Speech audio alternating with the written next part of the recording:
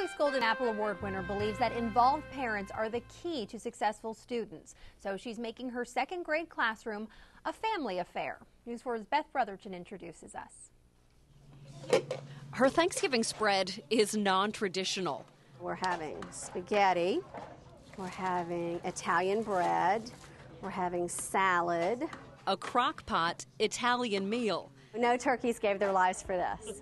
It is a feast in honor of a favorite author. Tomie is the author that my class has adopted this year. This Strega Nona series by Tomie dePaola is excellent. A story that Kerry Dempsey's second graders will savor. It was set in Italy and they, they had pasta. Yes, it does smell delicious, doesn't it? And one they will share with their parents. And it's noisy and confusion, and there's stuff's being spilled everywhere, and we have the best time.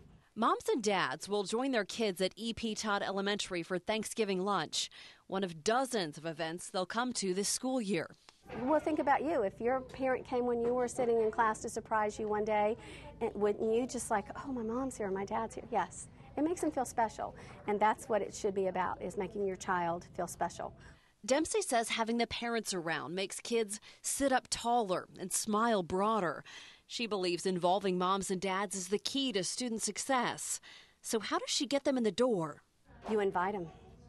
They're invited no matter what we do here at school, they're invited to everything that we do. You've gone over and beyond what I expected, and uh, second grade has turned them both around. Jennifer Fink Dundov saw it in her son Wyatt. His attitude and academics changed in Dempsey's class. When she gives them praise, it's like she knows how to say it to make them feel good about themselves. Dundov said a prayer that her daughter Erin would get Mrs. Dempsey too. Oh, I prayed all summer, all summer. Erin has thrived in this classroom just like her big brother.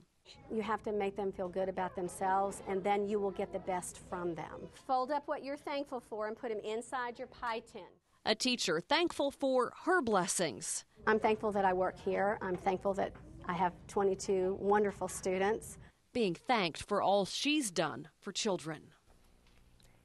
And if you know a great teacher, you can nominate them for a Golden Apple Award. Forms are available at any BI-LO grocery store.